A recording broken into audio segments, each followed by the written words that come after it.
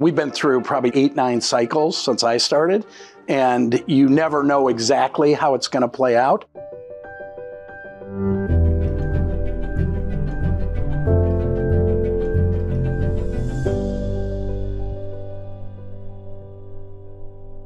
Hi, everyone, and welcome to Talks at GS. I'm Alison Mass. I'm the chairman of the Investment Banking Division, and I am delighted to welcome Goldman Sachs alum Scott Kapnick.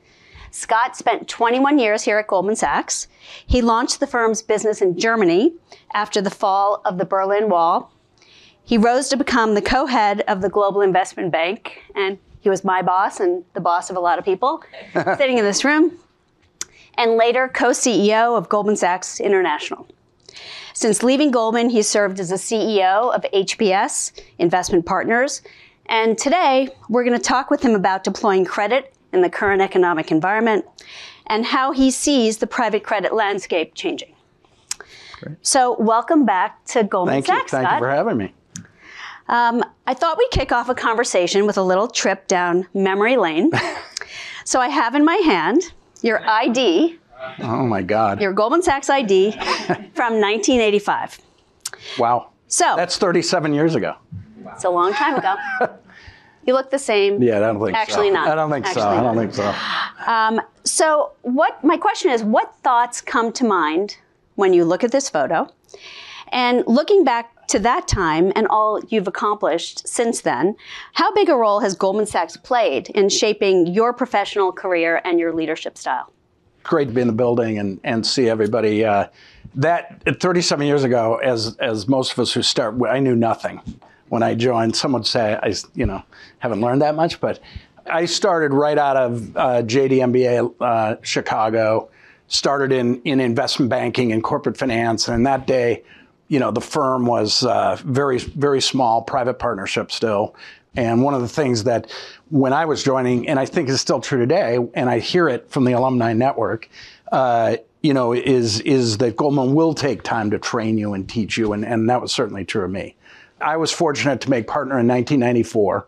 And that group, 58 partners at that time, and I was going through the group. It was an incredible group. You could you could spend three years of content interviewing just that group. And two of those uh, partners in from that class, Tom Montag and Paul Achleitner, were had left Goldman when I left, and were critical that we wouldn't be here uh, you know, HPS wouldn't wouldn't be where it is without their help at both Allianz and and BAML. So, just incredible network of people that help you. And I guess the message for you, for all of you in the room, is, you know, remember who you're working with. You never know who's going to help you.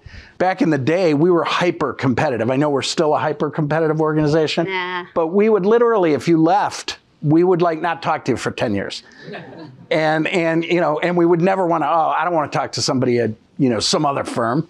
And I, I would say for you all, you know, maybe in this day and age, you learn from both your colleagues, but also some of those people that are out there on the street. It's okay to, uh, Lord knows we all need friends in this industry.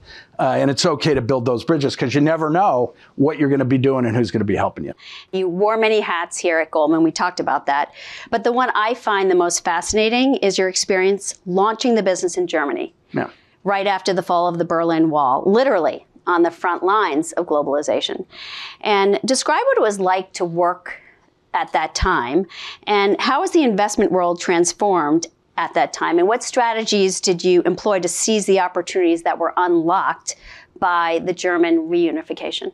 Yeah, that's I mean it was an unbelievable time.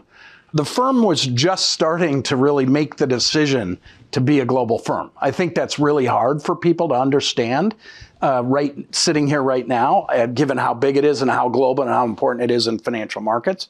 And when you get into globalization, first, I don't love the deglobalization word. I think it's sort of realignment. But globalization had a lot of um, tailwinds that the world was, you know, and people forget before the, the wall fell, probably half the world, 3 billion people, were really involved in democratic capitalism, and it shifted over the last 35 years, which we've all benefited. Goldman Sachs benefited incredibly uh, from those tailwinds. Um, but that drive for efficiency, labor arbitrage, all that was was what you know really drove those markets. And what we were doing was bringing expertise from the U.S. markets and and Europe uh, London from the Big Bang era into markets. There really wasn't a market for corporate control there. Um, and so, but, but mostly we were learned to hire great people locally and who understood the culture, understood the financial system, and then we were applying best practices from around the world to that. And that lasted for, it's still today that the firm does that in various areas and, you know, really a, as an opportunity. Are there lessons that you learned from being at the forefront of that period of time in Germany that you can apply today uh, as the world trends towards, I won't say the word, deglobalization, yeah, yeah. Um, towards sh- this shift? People, again, won't realize when we started Germany, I think it was uh, the first office that started with all four revenue producing divisions, so fixed income equities, asset management, investment banking, and the what was then called the Federation, so operations. And so that we were one GS before one GS was cool. On the broader front, you know, the the realignment again is a shifting of the um, if you want to call it deglobalization, it's a ta- it's now a headwind to growth. But I do think just Germany. I was I was talking to some people you know, last week, they are going to realign. They're going to figure out how to move their manufacturing to low cost energy. They're going to figure out how to uh, adjust their system. It won't be a year, it might be a couple of years. Um, but they will do that. And that realignment creates huge opportunities for the firm as people do that because it takes capital and big opportunities for firms like ours to provide the capital to allow them to do that. And then the big issue with uh, sort of what you deglobalization is the focus now on resiliency of supply chain. So we're a lender. We want to focus on how people are doing that. And what's that mean? That means uh, usually increased cost, duplication of, of so that means they're going to make less money and they're going to have more, they're going to have more capital into that, uh, which is going to be a huge for financial markets. So I don't really think, while growth needs to maintain, it's, I think it's still an opportunity. It's just different. You mentioned energy, so I want to talk a little bit about the energy crisis um, playing out in Germany and greater Europe now that Russia's cut off natural gas. And do you believe the desire for energy security will accelerate the adoption of renewables and other clean energy, or do you see countries abandoning net zero commitments and resorting to using whatever's convenient um, as a source of fuel? Well, no, no, I don't. I don't. And I know there's a there's certain topics that come out in the media. We have a lot of clients in in institutions, pension funds, and European uh, insurance companies. They they still are very focused on on net zero and achieving net zero.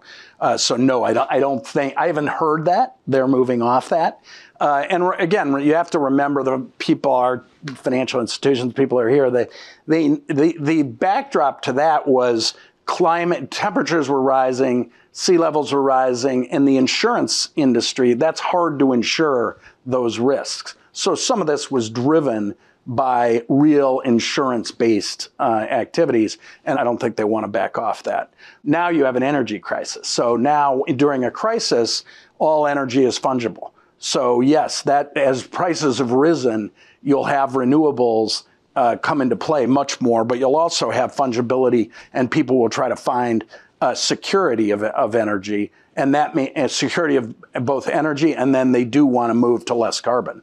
Um, so we'll see how that plays out. I don't, and I think you know most the debate has shifted back now. You're starting to get pushback and the realization that you absolutely need carbon-based uh, energy. Um, so I think I think that's more uh, rational debate now.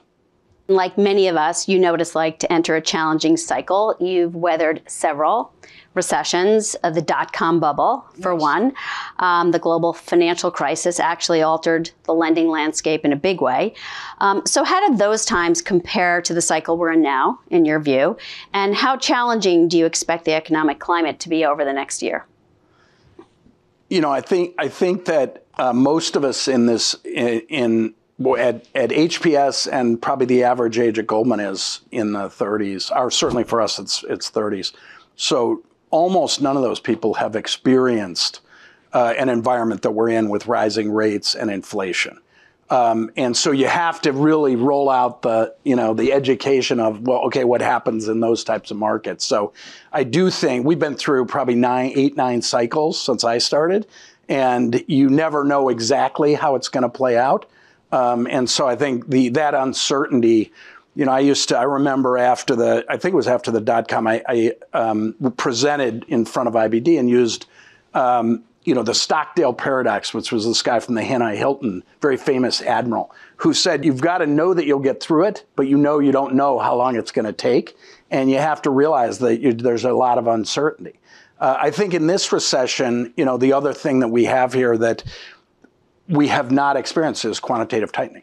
So you've got rising rates, Federal Reserve, quantitative tightening on top of um, a lot of the COVID. We still have a pandemic. We have a war in Europe. So we have a lot of uncertainty to resolve. And then we, we still have China locked down. So that how those factors play out are completely uncertain. Um, I think most people, when we're credit underwriters, so we're more focused on downside, and we want to make sure that whatever we're lending to can weather through, you know, a recession and shrinking profit margins, things like that, and rising cost of capital. You said that volatility is not necessarily a bad thing for HPS. Right. Um, and in this challenging environment, we've talked about you know the inflation and rising rates. Um, how have you positioned the firm to capitalize on this market dislocation and distress situations? And are there particular industries and regions that you see offering the greatest opportunities to deploy credit in the next couple of years? Well, we we've been fortunate as a firm. Um, after the great financial crisis and then the regulatory change that came after that. Uh, the regulators really were asking the banks, uh, charging higher capital charges in, in non investment grade credit, which is private credit, what, what we do, and wanting you know, ca- depositors, and, and there, there was debate about this. I think the framework they set up was limits on lending. And that framework also raised the capital for banks. And if you look at what's happened, you know, private credit has grown immensely in the last since 08. It's grown from several hundred million to a trillion and a half dollar market, growing at 15% for the foreseeable future. So it's going to double or triple. Um, and the reason for that is that borrowers want certainty. They want, you know, they don't necessarily want a syndicated loan. The syndicated loan market has continued to grow, but at a much slower rate. So I think that that you know the opportunities in private credit to to deliver that solution and larger scale, the larger and larger deals is what we've positioned the firm to do.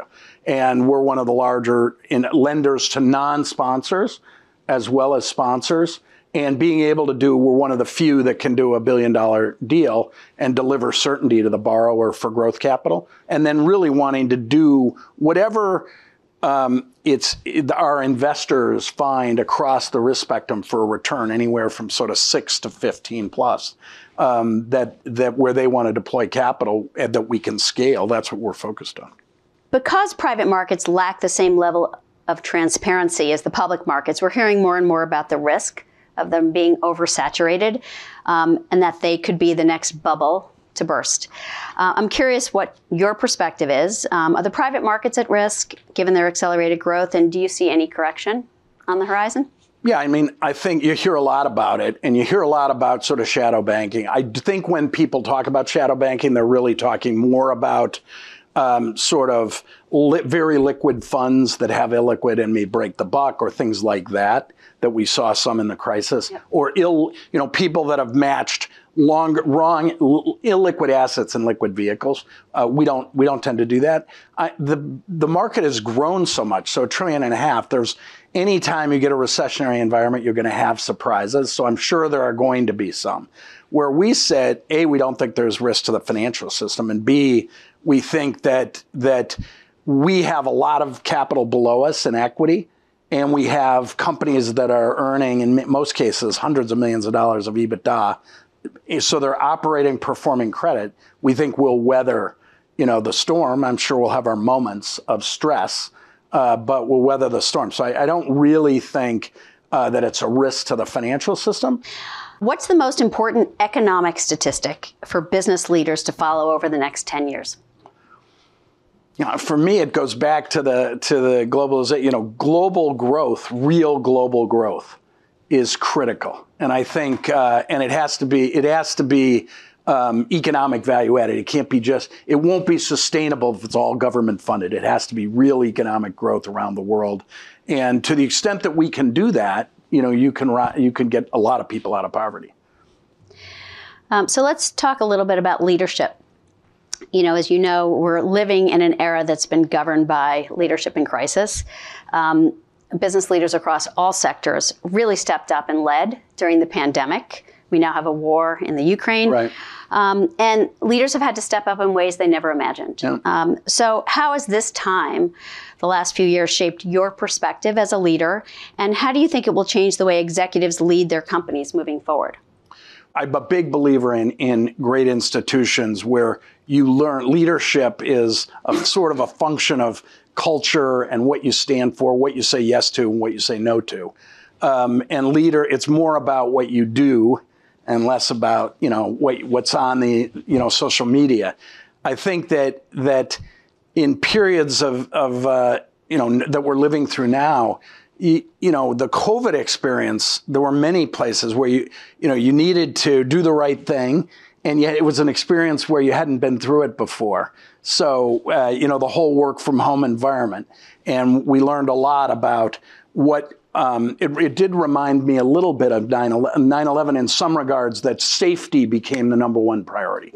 So, really, for running an organization, you want to make sure your people are safe, they have a good environment, and they're working. And, and then people also, you know, we all learned, um, you know, being at home was a hard environment for a lot of young mothers and young fathers because they, they were in an environment where they couldn't really work. And so you needed to try to give them what, what you could give them to support. And I think you just got to you got to change and adapt to the environment that you're facing as leaders. I think one of the other leadership things after the George Floyd murder here, we got together as a group and people decided we want to do something we want to do something, we want it to be significant. So we created the partnership with Howard, uh, where we gave them $10 million to really help broaden uh, some of the activities that they're doing in asset management, created a Center for Financial Excellence, and really trying to provide scholarships and work at the school plus internships to get people. And they've done an incredible job for people who know. Uh, they've done an incredible job in um, in medicine and in law and we're trying to bring that to asset management. And I've been I've been thrilled with the um, support that the financial community has given to yeah let us help let's help let's get focused on it. You talked about the average age of the people at HPS. Um, we have many young people who work here as well. Um, what advice do you have for the next generation on how to be good stewards of the firm? When I left, I think investment banking was you know, a couple of billion of revenues, and and you know, you like broadened it, George, you broadened right? it out to every yeah, every industry group has multiples of that. Uh, and regions. So my hats off to everybody. I, I, I, I, would say for people who are who are in the firm, um, I've anytime anybody asks me, uh, you only get to leave Goldman once. You all hear that, but that is true. So you know, don't don't. I think broadly, my father used to say this about Arthur Andersen. I think people do leave too early most of the time. Of course, I would never say that I left too early, but but but you know, so nobody says they left too early, but they they oftentimes don't realize they can get through to the next level and their career is going to have a huge rocket. And and people who have stayed, you're a great witness, you know, uh, have done really really well. And so I do think that the common theme out there now for young people is you shouldn't stay at a firm for longer. You know, you should move, go from three to, you know, and I just, I, I would push back on that. Most of the young people, you know, in the firm are going to live to 90 or 100 year life expectancy. So you got a long time. Take your time. Uh, and then I also think, um, you know, times have changed with technology, and people who are in the firm that have then gotten more senior have to remember to look down and be a mentor. Particularly, you know this as well as anybody, mentoring, particularly women and you know minorities. You have to mentor people. You have to find the mentors, and you have to help them. Look back. Everybody, I always say this to people. You know, whenever I have a conversation, and no matter where it's been, really, people will always say, "Well, I, I, I look up. I should be, I should be, I should be that. I should be that." And you say, "Well, what about? Have you looked down?" And you got to look both down laterally and try to help people uh, in the organization. What is your definition of success, Scott? And how did Goldman help you shape it? Well, I had a good fortune of uh, you know having having a father that I was very close to, and and and uh, you know sort of taught me that you want to build a balanced life. You want to give back to your community. It's making the world a better place. That sounds trite, but we've Goldman's done that. A lot of those lessons we tried to apply to HPS, uh, and then most importantly, it's your family and and what you create with your family, and uh, you know what you do to help others in you know in making the world a better place. So that that really is success. Well, Scott, thank you so much. Thank you. And please join me in thanking Scott. Thank.